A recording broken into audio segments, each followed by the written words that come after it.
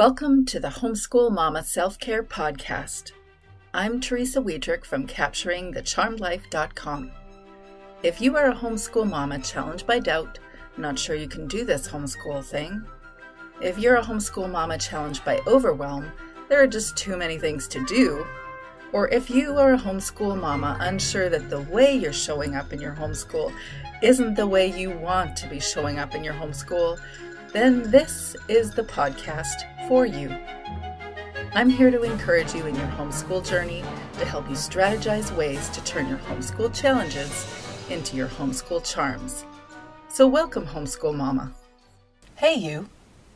Do you use that week between Christmas and New Year's to craft and evaluate and plan for your new homeschool year, the 2022 homeschool year? This is a practice that I've done for many years, ever since I discovered the book by Sarah Susanka, The Not So Big Life. That book had a huge impact on me, and it continues to, as it's always a book that I include in the Homeschool Mama Book Club. It's always a book that I refer to with every human being I ever come across. I even mentioned it to my husband again this week. It's a book that is really big, and I had the privilege of interviewing the author, a New York Times best-selling author, and more importantly, someone that is truly near and dear to my heart. I got to discover that we have common interests like gardening, uh, specifically Claude Monet's garden, Giverny, which became the name of my bed and breakfast. But we had so many common connections and and just a sense of um, clarity on life, this or seeing life the same way. And we had such a great conversation that I have to mention it here. It's worth listening to. By far, my all-time favorite interview because I go back to it, re-listen, and relearn things every time I listen to it. So that book, The Not So Big Life, by Sarah Susanka. That book has a bunch of questions at the back of the book that you can use to assess your previous year. And there really isn't a time of the year that probably has less planned activities and less prescribed expectations than that one week between Christmas and New Year. It's the probably the most fun unschooled part of the entire year for you and your kids. Well, during that time, Every morning, I light a candle, grab a cup of coffee, sit in front of the lit Christmas tree, and enjoy those questions and let myself just think about what has my last year been like. And then think about what I want to do for the next year, both in my homeschool and in my personal life. Once upon a time, I was a keeper of resolutions. Well, I was an attempted keeper of resolutions. I recently saw a meme that said something like, I am going to sign up to a gym to commit to exercising publicly at the same time every day for the next two weeks until I petition them to turn it into a wine bar. Curiously, in my part of the world right now, gyms are closed because of the whole Omicron thing, but the point is definitely made. I want to make a commitment to my resolutions for about the first two or three weeks of the year, and then it kind of fades off into the most comfortable avenue, the most familiar things that I'm used to, the, the habits and the practices that I've become accustomed to long before this year began. So my resolutions my resolving to exercise in a gym at the same time every day, or whatever other resolutions I put on my list, they don't usually bear out for me in follow through. Can I hear an amen? So I don't focus my new homeschool year planning and envisioning around what resolutions I want to put in place. Instead, I'm really taking stock of how my last year was and how I showed up in it, what my vision words are. So, today we're going to talk about re envisioning our homeschool year. But first, you're invited to this week's discussion on envisioning your new homeschool year. It's an intensive on envisioning your 2022 homeschool year, clarifying and evaluating it, not trying to control everything, but controlling instead how we show up in our homeschool and how that can benefit our children in showing up in their lives too. We're going to talk about what did work, what didn't work. We're going to consider who our kids actually are and if our homeschool is working for them. Consider who we actually are and whether our homeschool is working for us. And determine and craft a plan for the next semester. So bring your favorite New Year's drink because it's going to be a whole lot of fun. And I can guarantee you that I will be coming in my casual wear because I've been wearing that casual wear since December 24th. I will still be wearing my new yoga pants and hoodie. Thank you, Santa. Today's episode is sponsored by Mercentials. Kristen Mercer from Young Living Essential Oils had shared a gift with me, and one of the things she shared is Thieves Cleaner out of all the things she sent to me, this is a wonder to me. I had no idea that this Thieves Cleaner would actually be as effective as it is. In fact, I sampled it live on Instagram. I went live. I had never used this cleaner before. It was an honest attempt at saying, is this thing actually going to work? Or is this just like the cool thing everybody's talking about? Well, I am going to share with you my experience of using Thieves Cleaner the first time. You get to hear it in audio instead of watching it in video on Instagram. So take a listen. Okay, first I want to know what your favorite school subject is because mine really is science. Yeah, science. Okay, so I like to experiments. I like those experiments where we do bacterial swabs around the house. And today we're going to compare this regular bathroom cleaner that I have in my bathroom with this lovely bottle of Thieves. That was the one that Mercentials, Kristen Mercer from Mercentials sent me. And I gotta tell you, whatever is in this, there's like cloves and cinnamon and a variety of other things that really smells like Christmas. I have not tried it. I have filled it to what it told me to fill it to use the amount that I needed within this, I believe, 500 milliliters water, and we're to see if it works.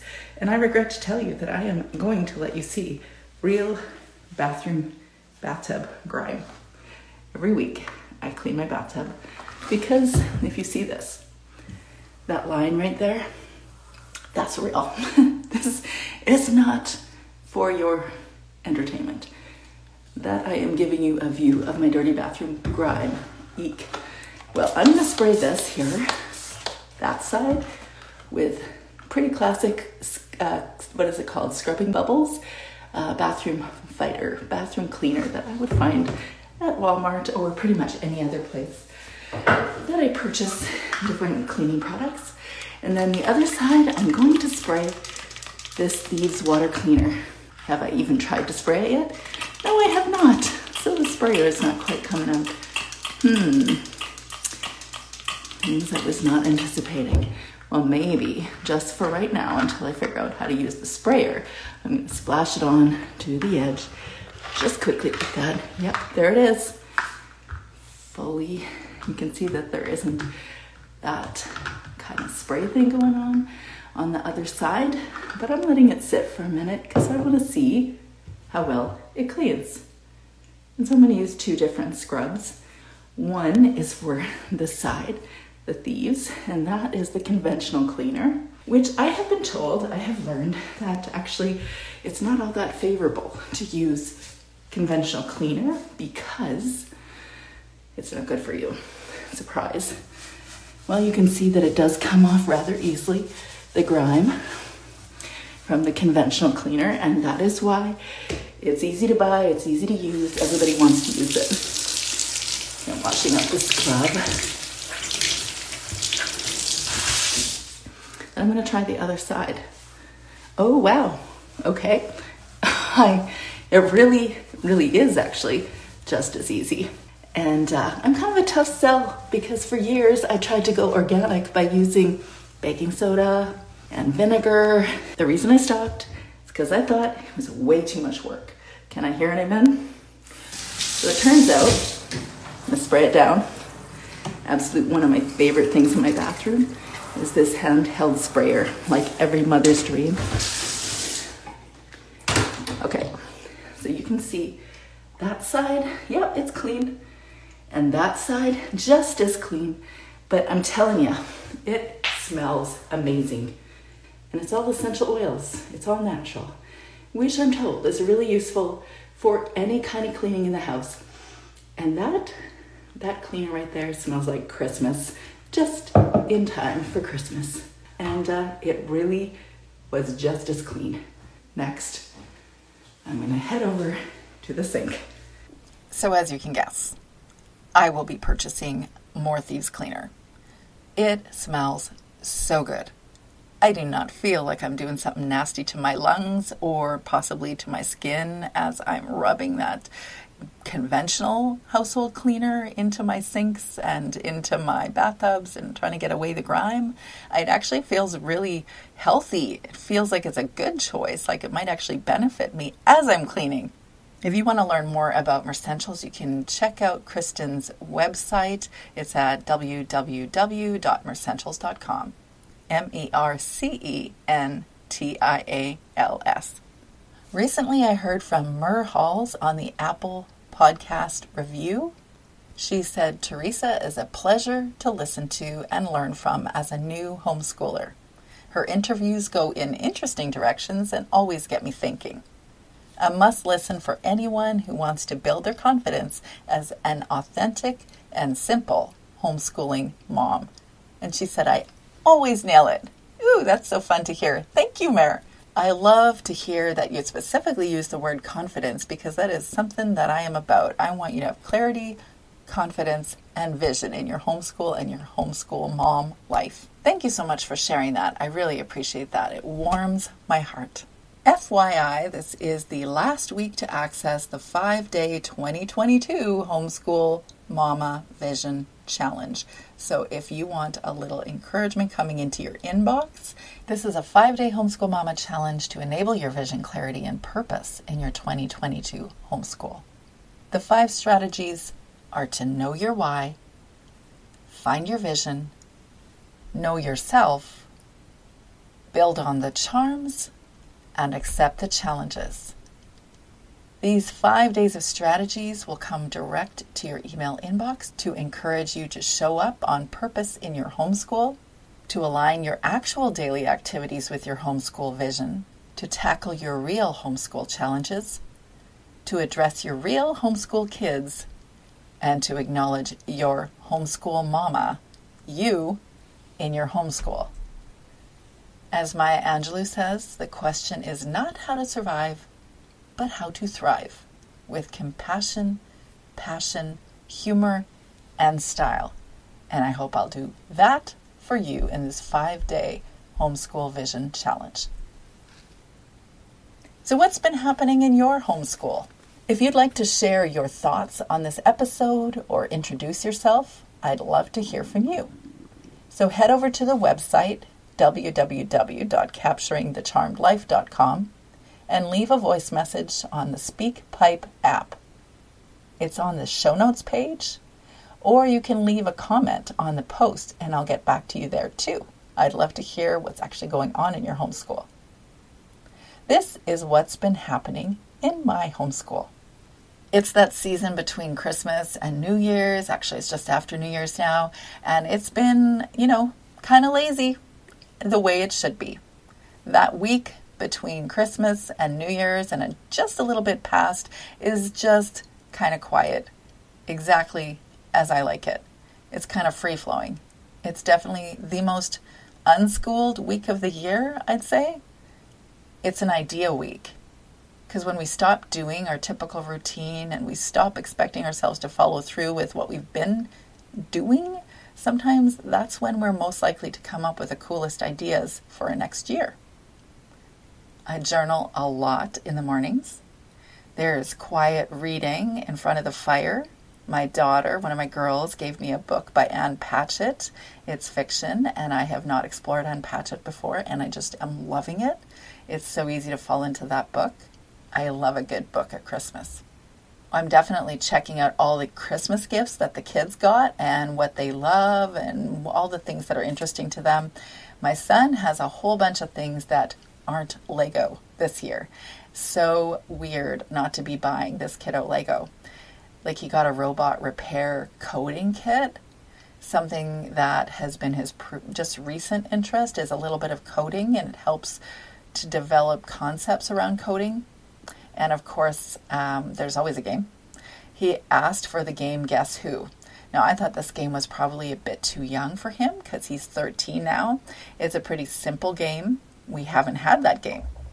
But he actually learned an algorithm for winning the game, and that's why he wanted it because this kiddo is competitive and logical and he likes to win. I bought Uno because I love that game, and we have played that game many years in a row for some reason cards go missing or someone loses the game. So once again, we've got another Uno game. I'm fast. I like to win that game too. Mostly because I'm fast, I do win that game. We've looked at his Usborne Maps book, his new Guinness World Records book. He's got a Harry Potter book with a wand that can make some magical writing behind the page. I even tried to spend a little time watching Lord of the Rings with him. Okay, so if you love Lord of the Rings and Harry Potter and all those sort of fantasy based genre movies or books, good on you. If you actually have resources that could be useful in learning for a 13 year old boy, let me know because I'm trying to incorporate something like that in our next semester. But um, I just can't get behind them.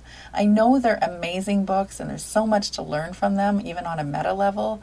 I know that they're very well written books, and the movies are, as my brother says, epic. But I can't get past the first movie. I can't even get past half of the first movie. Just not my thing.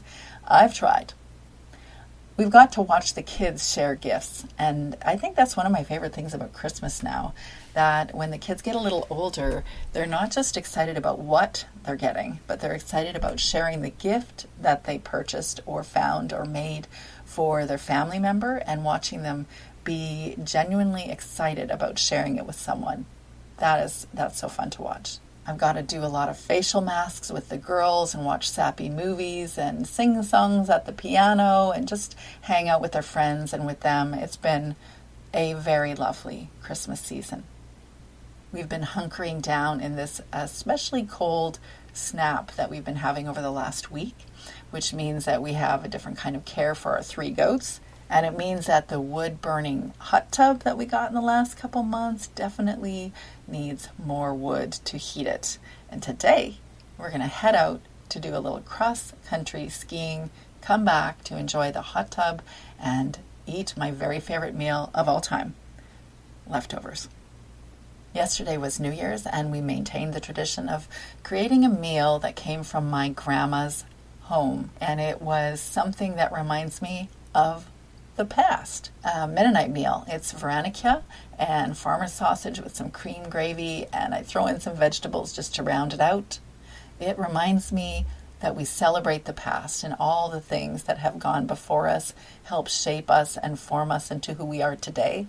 And I want to honor the people in the past. I want to honor the past. And I also want to look to the future, to plan for the future. And so we talk about our plans for the upcoming year. So that's what's been happening in my homeschool. From one homeschool mama to another, if you want to do this homeschool thing, I encourage you to take an assessment of how your last homeschool semester has gone and to get clear on why you're even doing this homeschool thing. You need to have clarity on why you're even here, like on the planet, why you're here, who you are how you fit homeschooling into that purpose and how homeschooling works for you. Because why we do homeschooling influences how we homeschool, and how we homeschool most definitely will affect how happy we are homeschooling. But who we are affects why we're homeschooling. Who we are affects how we're homeschooling. And also, it gives us a strong sense of we are doing this, this life on purpose. To quote Dolly Parton, she said, find out who you are and do it on purpose. And I say that to you too, homeschool mom. You are a unique individual unlike anyone else on this planet. Your homeschool, therefore, will be a unique homeschool beyond anything that anyone has ever experienced on this planet. So find out who you are, do it on purpose, and you will do your homeschool on purpose too. So, what's your experience in planning for the new year? On today's episode, we are going to talk about how we can assess, evaluate, and shape our upcoming homeschool year. Let's go. So, here's what we're going to talk about in envisioning your 2022 homeschool. We're going to talk about your year in review.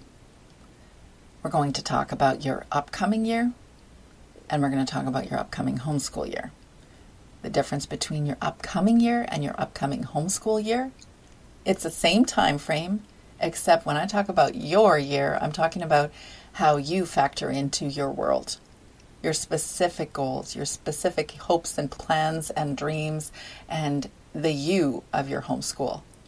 And then we're going to talk about your actual homeschool year. This episode requires a journal and a pen if you want to get the most out of this discussion. So let's talk about your year in review. Here are some questions that I use from Sarah Susanka's book, The Not So Big Life, every year at about this time. I'm considering my past year, so I'm asking myself, how have I spent my time? What benefit has there been in using my time the way that I've spent it? What events have happened in my world? Big question this year, wouldn't you say? Okay, so let's talk about your year in review. The first things you think about when you think about this past year, what are they? What are the highlights of your last year? What are the lowlights of your last year? What are the external challenges that you've faced this last year? What are the things that you're working on in yourself? What did you learn in how you want to show up in your homeschool and in your life? What were you able to accomplish in that area? What were you able to accomplish in the internal work that you've done over the last year? What are the stories that you've told yourself? Because we're always telling ourselves stories and interpreting what's going on around us. So, what are the stories that you've told yourself? What are the conditioned patterns that you see in yourself? All of this self exploration assumes that you are building in time on the regular to do mindful moments or to ask yourself, How are you feeling? What are you thinking? Why are you thinking what you're thinking? To get really familiar with your emotional atmosphere and get really familiar with the conditioned patterns that you do see in yourself. Okay, so what were your vision words for this past year? And how did your vision develop over the year? What are your personal goals? The ones that are not necessarily related to homeschooling, but are just your goals. You as a human being on this earth right now. What's your goals? How did homeschooling work for you this last year? How did the rhythm or the routine work for you? Have you focused on what you want out of life? How focused were you on a scale from 1 to 10? How have you changed the world? And how did you use the resources, your time, and your skills in doing that, in changing the world. Answer those questions your year in review, and you'll get a strong sense of how you experienced the world and how you experienced life last year. So you can see that when I dig deep into journaling questions at this time of year, I'm not asking myself, what are my New Year's resolutions? What food do I not want to eat? How much exercise do I want to do? What are all the components of my morning routine and am I following them? I think all of those things are important. But I think the more important stuff is the internal work because it deeply influences whether we feel purposeful and whether we feel like we're becoming who we were meant to be. And also, we're showing our kids how to do all of that. And it helps us to become a lot more clear on where we're going. Okay, so let's talk about your upcoming year. Keep that pen handy. We're going to continue to journal and to answer the questions that have value for how we're going to show up in our upcoming year. How do you want to feel in the upcoming year? Like, if you could sit down and envision how you would actually be in your day to day, how would that feel? I think there's value in this because we are instinctively reacting to stuff that's going on around us all the time.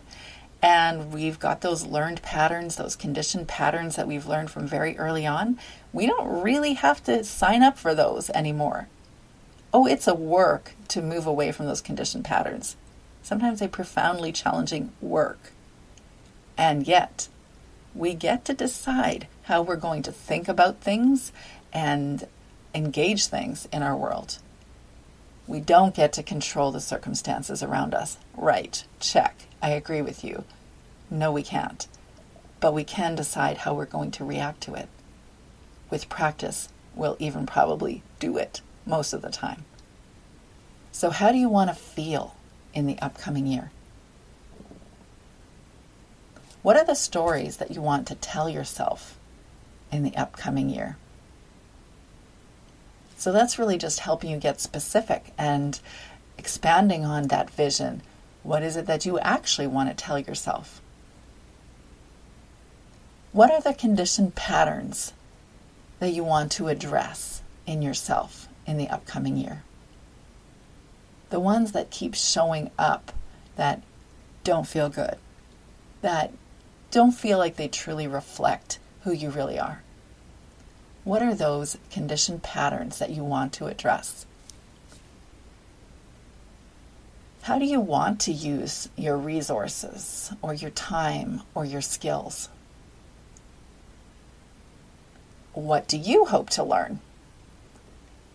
The beauty of this homeschool thing is that we can always find a way to include our interests and our curiosities into our homeschool if we put the effort into it. And that's often why our kids grow up loving the things that we loved because they really saw us loving that thing, impassioned by that thing. And even if they don't love exactly the same things that we love, because none of them love the same things and all of the things that we love, but they grasp onto the passion that we had and they say, That was really cool. I could see that was really cool because my mom or my dad thought that was really cool. So, not only are we benefiting ourselves by building in learning into our homeschool for us, but we're actually showing our kids you can be impassioned by these learning things or these things that you're learning, and you can actually infuse their future with your passions too. How do you want to change the world? What is it that you want to do in this world? What are your vision words for this next year? You could use one or two or three different words to generally explain how you want to show up in your homeschool, or how you want to be in your business, or in your volunteer work, or in your community, in your family, in your relationships. Choose a vision word for either all of these different areas or just one general vision word for your next year. What are your personal goals? Do you have specific ones that are entirely outside the realm of homeschooling? Like, I'll share one of my husband's because I'm really excited about it. It reflects who he is, who he's been since, I don't know, since he started reading. He loves politics, he loves history, he loves all that stuff. And it's a good thing because those are not my forte. He is going to run in the next federal election as a member of parliament. Dang, that is a huge personal goal. I'm so excited for him. I am as excited about why he wants to do this, but even more excited for him that he is seeing that this is the thing that he is impassioned by and he genuinely wants to change the world in a certain way. And he is going to do it because this is why he's here. So, what are your personal goals for this year? What activities help to develop you? What activities help to nourish you? I don't say it glibly that we need to nurture the nurturer. It is clever. It rolls off my mouth very simply and easily. But the reality is that you need to nurture you if you're able to nurture your kids too. So, what activities help you nourish you? What activities help you feel connected to others, like your family or your friends? What activities help you feel connected to other homeschool people? In the last couple years, there has been a significant challenge in that sometimes we aren't allowed to intermingle. And so creating community despite this can be a challenge. There are a lot of homeschool opportunities online. And I know it's not the same thing as playing at the park with your friends or having a homeschool co op or whatever it is that you think of when you think of homeschool support. But we have a community. We even have a community right here between you and me. You can chit chat with me on the SpeakPipe app, or you can join an intensive or a homeschool mama book club, or chit chat with me on Instagram. And I know that there's a, you know, we have a homeschool mama support group on Facebook that we're building. There are many different ways through me and through many other homeschool avenues to create a community where you actually feel supported. How do you want to show up in your homeschool this next year? a big question. What does it look like? What words would describe how you want to show up in your homeschool? How do you want to do the routine that works for you, but do it even better? Could include a morning routine, or it could include a weekly routine of activities with friends or activities that help nourish an interest you have. But how can you make this homeschool routine work for you better? How do you want homeschool to work with who you actually are? How do you personalize your homeschool so that it doesn't just reflect your children, but it actually also reflects you? What are the activities that you can include in your routine that will help you do any or all of the above questions. So you can really do your upcoming year the way you want to.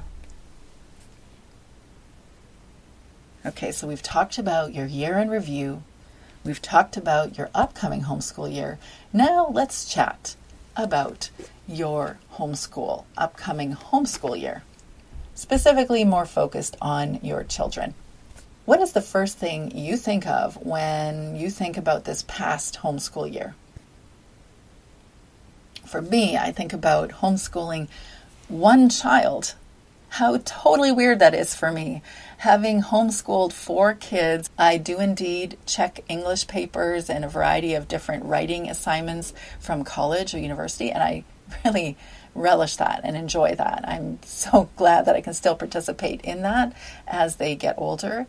And my third daughter is in public high school. She's in her second year. My fourth child is my only child at home that I am homeschooling. And that is weird. It is so different than anything that I've experienced before. But this is life, right? Things shift, they change. Our homeschools change. So the first thing I think of when I think about this homeschool year is having just one child to homeschool and all the different ways we approach me doing my work alongside him learning and then when we come together and do the learning together or assessing or evaluating or discussing or all the stuff but it's just him and me. Record the highlights of your last year. And record the lowlights too. What are the things that you need to engage with each of your kids to make your homeschool or family life work for them? This is when you start having individual discussions with each of them, no matter how old they are, because it sets a precedent that you are listening to them. It also sets a precedent that there's certain things that you're really paying attention to, and it helps them to pay attention as well. You can ask them, what did they like to learn? What did they learn? This is one of my favorite things ever is the beginning of the year, or is it the end of the year? No, it's the 100 day party. The 100 day party that we do where we sit down after 100 days of doing some formal homeschool and write down the things that we've learned in this last year, the 100 things that we've learned. Very interesting to see their focus because one child will focus mostly on history or one child will focus just on science related topics or they just all have their niches that they prefer learning and that really helps you to learn what they like to learn and what they actually remembered that they learned. How do they learn? The answer to this doesn't have to come in the form of their auditory learners or visual learners or verbal learners or uh, you know kinesthetic learners. It can come in the form of they like to learn by sitting on their bed with the kitty cat beside them. Or they like to learn by doing things with other people. Or they don't like reading. Or they love reading and they love reading by themselves. Get into the habit of answering the question what is it that they default to in a learning environment? How do they like to learn? Look at each of the subject areas that we've traditionally learned in school and see what you did together in homeschooling. You don't have to have a formal approach to this. You can be an unschooler and do this too. You can actually ask yourself, uh, what did I do with my kids this last week? Oh, we read together. Okay, you read together. What did you read? We read Swiss Family Robinson, which is actually a read aloud that my son and I have been doing. In that book, you will be introduced to an encyclopedia of animals and animals that really don't live on the same continent, but they definitely live in the same island on Swiss Family Robinson. You could cre- create an animal encyclopedia just from that book alone, but that could be called science. What did you do? You did science. So look at each subject area to see what you did in your last homeschooling year and see where you might want to go in the upcoming homeschool year. You could loosely write the different subject areas and write in all the activities that you might want to include in each of those. You decide if it's valuable enough for you to write them out as different subject areas, but it does help you as a homeschool mom that probably has been conventionally educated to recognize that you really are doing all of the subjects. So you can take a breather and just enjoy being in the learning of whatever that subject or that, that activity is. What challenges do you anticipate in the upcoming year? Write that down. You could create a vision word for each of your kids this upcoming year. How you want to engage them or how you want to help them grow. Create a vision word for each of your kids. What are your children's present goals?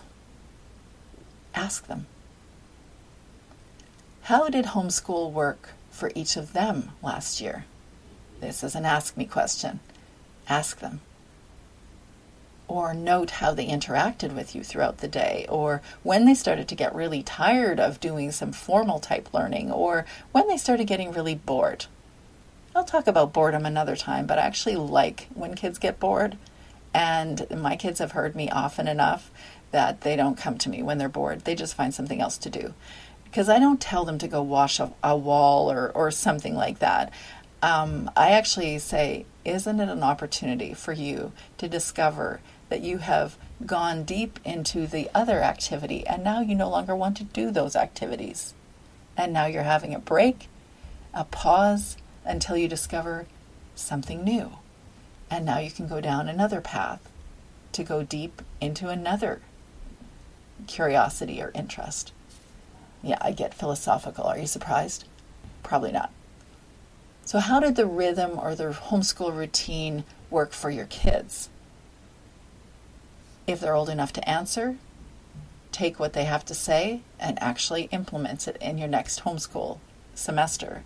Whereas if they're too young to really explain, observe their behavior. Does it look like it's working for them? A couple of my kids would happily have started the homeschool days very early in our early homeschool years. I was too tired to do so. Or one of my kids would have gladly had me unschool her since the very beginning.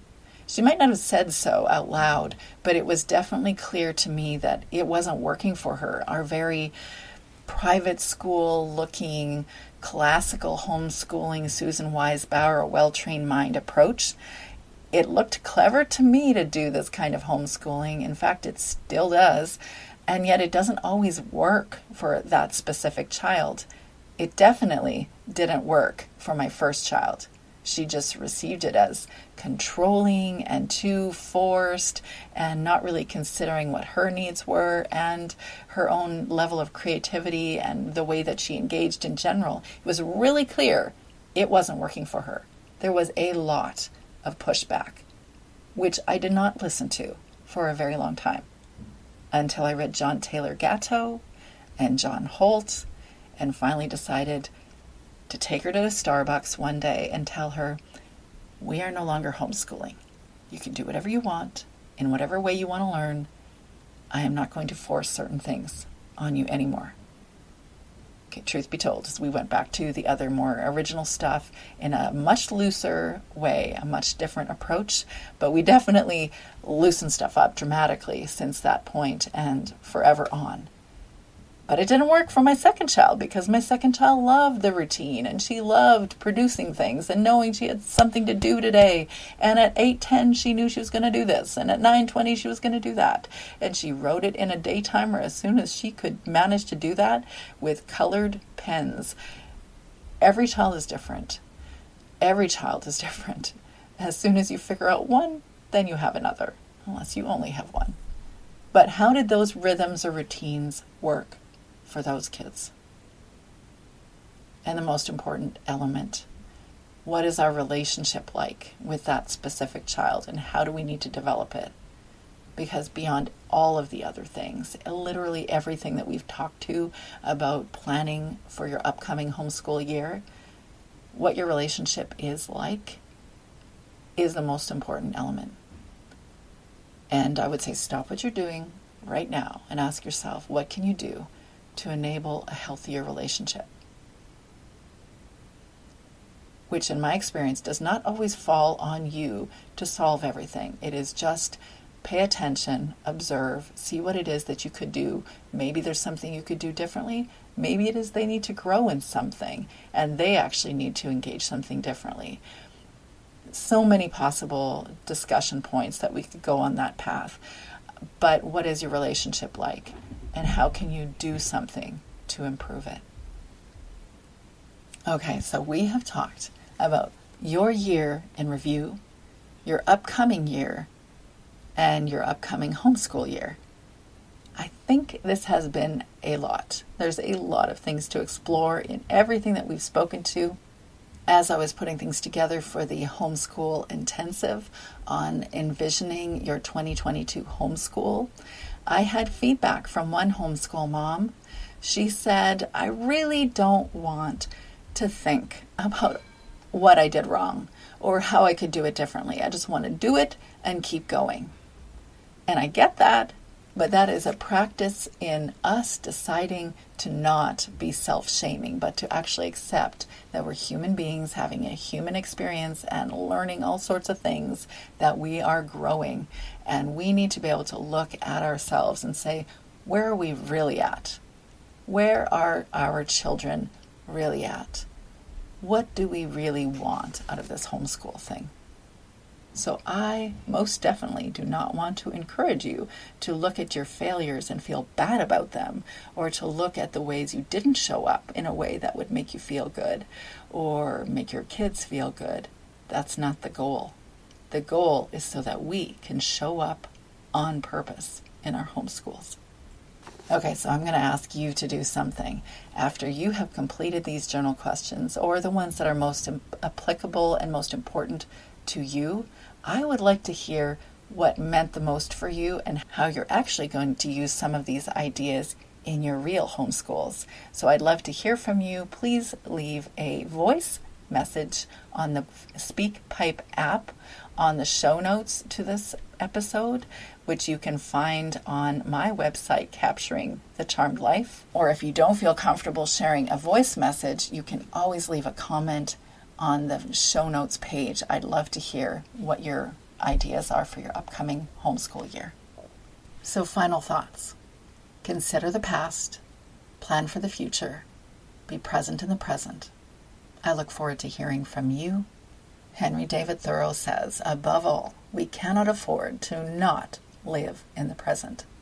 She is blessed over all mortals who lose no moment of the passing life in remembering the past. Carpe diem, homeschool mamas. Welcome to your 2022 homeschools. You can find all sorts of free resources on my website, capturingthecharmedlife.com. All the show notes and links to this episode will be found at that website. If you can think of another homeschool parent who would be encouraged by these discussions, let them know too. Until next time, I hope you and your kids have a charmed week or if you're having one of those weeks, I hope you can reframe your challenges and turn them into your homeschool charms.